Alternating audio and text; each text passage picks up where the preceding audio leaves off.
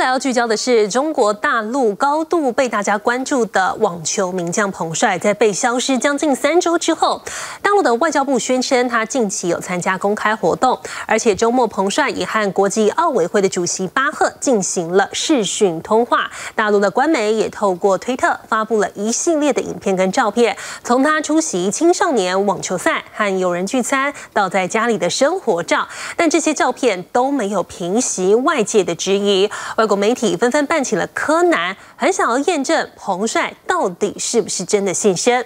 而现在，美国和英国都考虑要对北京冬季奥运进行外交的抵制，就连法国的外长也警告，可能会导致严重的外交后果。中国官方媒体《一日一报》的女子网球选手彭帅，二十一号与国际奥委会主席巴赫视讯通话约三十分钟。国际奥委会在声明中指出，彭帅一开始就感谢国际奥会对他的关心，表示他平安无事，住在北京家里，希望此时尊重他的隐私。人消失了快三个星期的彭帅，这个月二号在微博自曝与相差四十岁的中国大陆前副总理张高丽有性。关系后销声匿迹。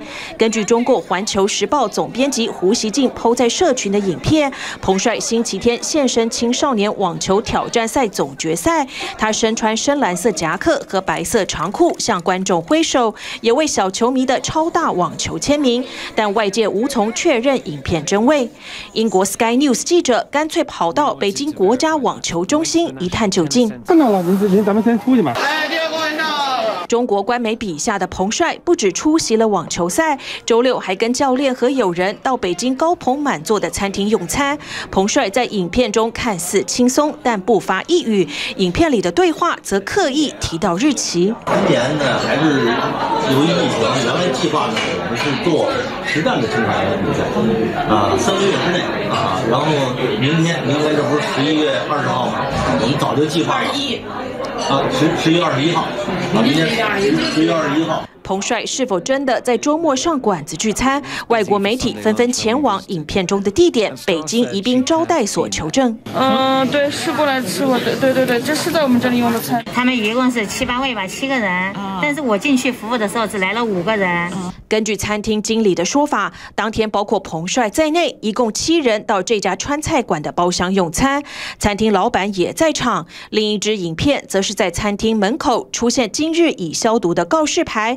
但仅写十一月，并未标注日期。穿着淡紫色羽绒外套、头戴白色毛帽的女子，疑似就是彭帅。影片全长十五秒钟，没有现场音。中国大陆央视记者沈诗伟十九号晚间则在推特贴出四张照片，彭帅在满是布偶的房间逗猫玩耍，声称是彭帅在微信抛出的讯息，还写上周末愉快。但这一系列照片和影片都无法证明彭帅行动自由。外界也质疑，为何不是由他本人发布，而是透过中国官媒，且都是在推特上分享。中国网友不翻墙，根本看不到。Both ATP and WTA chairmen, and it's important because this is horrifying. I mean, to a person is missing.